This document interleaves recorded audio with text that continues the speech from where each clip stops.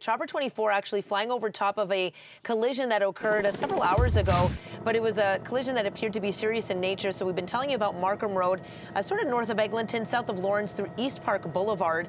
You can see the area definitely still completely shut down for this ongoing collision investigation. You can see the mess, a spill, multi-vehicle collision in nature. So uh, Recon are on scene, reconstruction team to basically investigate this situation. No estimated time on reopening. We'll let you know when that clears. Alternates in the area aren't terrible That's the good news.